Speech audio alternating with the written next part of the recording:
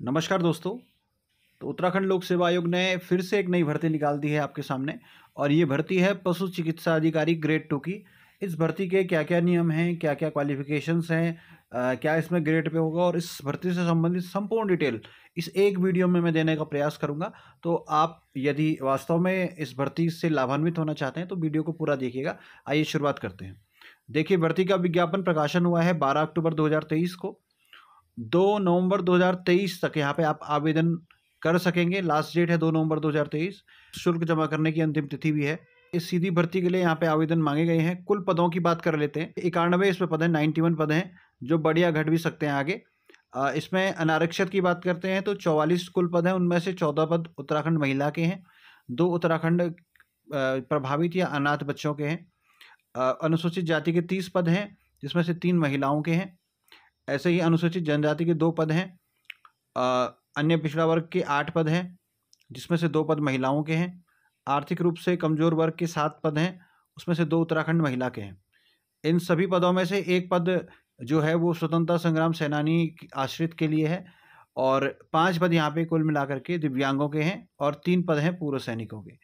आइए बात कर लेते हैं, टोटल पदों की बात करें, इक्यानवे पद हैं जिनमें से सत्रह पद महिलाओं के हैं और एक पद यहाँ पे स्वतंत्रता संग्राम सेनानी आश्रित का और पाँच पद दिव्यांगों के और तीन पद पूर्व सैनिकों के हैं और अनाथ अनाथ बच्चों के जो यहाँ पे हैं, तीन पद भर्ती के अंदर शामिल हैं। आइए आगे बात कर लेते हैं। इसमें वेतनमान की बात करेंगे तो लेवल टेन का यहाँ पे वेतनमान है, छप्पन हज़ार एक सौ से लेकर के एक लाख सतहत्तर हज़ार पाँच सौ तक इसमें वेतन प्राप्त होगा। समूह ख का ये पद है क्लास टू का पद है। अनिवार्य शैक्षिक अर्हता की बात करते हैं तो इसमें वो लोग आवेदन कर पाएँगे जिन्होंने विधि द्वारा स्थापित भारतीय पशु चिकित्सा परिषद से मान्यता प्राप्त किसी भी यूनिवर्सिटी से पशु चिकित्सा में स्नातक की उपाधि प्राप्त की है और पशुपालन B V S C and A H में स्नातक की उपाधि जिन्होंने प्राप्त की है। पशु चिकित्सा परिषद में यहाँ पे रजिस्ट्रेशन उस व्यक्ति का होना चाहिए। तो ये ग्रेजुएशन की जो उपाधि होती है पशु चिकित्सा के अंतर्गत जिन लोगों ने की है अलग अलग कोर्सेज अलग अलग नाम से हो सकते हैं तो साथ ही साथ जो पशु चिकित्सा परिषद में रजिस्टर्ड हो, ऐसे लोग इस पद में आवेदन कर पाएँगे। अगर बाकी बातें समान रहती हैं तो पशु चिकित्सा में जिन्होंने स्नातकोत्तर की उपाधि प्राप्त की है, डिप्लोमा किया है या अन्य कोई उच्च अर्हता भी हासिल की है साथ में तो उन्हें यहाँ पे अधिमान दिया जाएगा अगर मार्क्स बराबर हो जाते हैं दो कैंडिडेट्स के तो। इसके अलावा हम बात करेंगे आयु की तो 21 से 42 वर्ष आयु यहाँ पे रहेगी, गणना होगी आयु की 1 जुलाई 2023 को।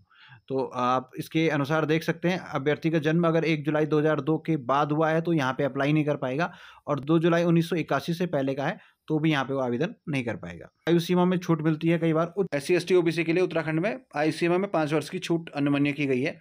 स्वतंत्रता संग्राम सेनानी आश्रितों के लिए यहाँ पे पाँच वर्ष की आयु में छूट दी गई है, दिव्यांगजन अभ्यर्थियों के लिए भी पाँच वर्ष की छूट दी गई है। पूर्व सैनिकों को सेना में उन्होंने सेवा की है, उसकी आयु को माइनस कर लिया जाएगा और उससे तीन साल एक्स्ट्रा तक उनको छूट दी जाएगी। आवेदन ऑनलाइन किया जाएगा। आवेदन शुल्क की बात करें तो कुल मिलाकर के एक सौ बहत्तर रुपये यहाँ पे शुल्क पड़ेगा अनारक्षित को और ओबीसी को, साथ ही साथ ई डब्ल्यू एस को एस सी एस टी को बयासी रुपये तीस पैसा, शारीरिक दिव्यांग को बाईस रुपये तीस पैसा और राजकीय ग्रहों में जो निवास, निवासरत अनाथ बच्चे हैं, उन्हें कोई शुल्क यहाँ पे देय नहीं होगा। यहाँ पे पहले लिखित परीक्षा कराई जाएगी वस्तुनिष्ठ प्रकार की।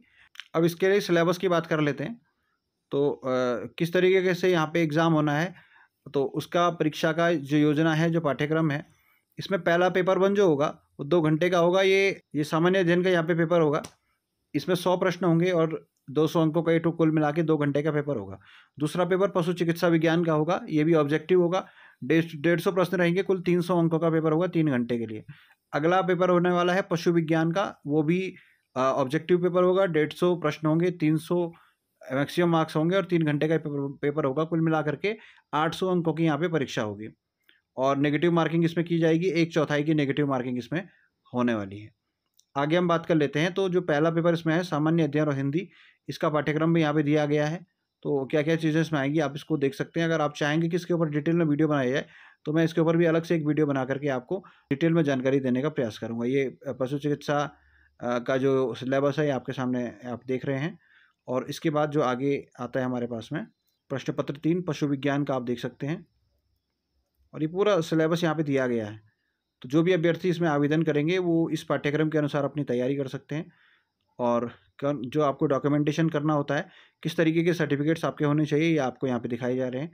आपसे आप अपने डॉक्यूमेंट्स को तैयार करेंगे। कितना मिनिमम क्वालिफाइंग मार्क्स होता है, वो सारी जानकारी विज्ञप्ति में आपको दी गई है। तो इस तरीके की सारी डिटेल्स यहाँ पे उपलब्ध हैं। तो कोई भी डाउट, कोई भी प्रश्न चिन्ह आपके मन में हो, ज़रूर कमेंट कीजिएगा और आपको अगर कमेंट करेंगे तो आपके कमेंट का हम उत्तर देंगे साथ ही साथ। अगर कोई डाउट आपको इस भर्ती में, के संबंध में लगता है तो जो भी जानकारी आप चाहते हैं कमेंट बॉक्स में आप पूछ सकते हैं। उसके ऊपर हम वीडियो बना करके भी आपकी शंका का समाधान करने का प्रयास करेंगे। तो ऐसे ही महत्वपूर्ण वीडियो हम सभी भर्तियों के ऊपर लाते रहते हैं। उत्तराखंड में होने वाली अधिकांश भर्तियों को हम अपने चैनल पर कवर करते हैं। तो हमारे चैनल से जुड़े रहने के लिए आप सब्सक्राइब का बटन ज़रूर दबाएँ, घंटी वाला बटन भी दबा सकते हैं और समय समय पर ऐसी महत्वपूर्ण जानकारी आप तक पहुँचती रहेंगी। जल्दी मिलते एक नई वीडियो के साथ। तब तक के लिए नमस्कार।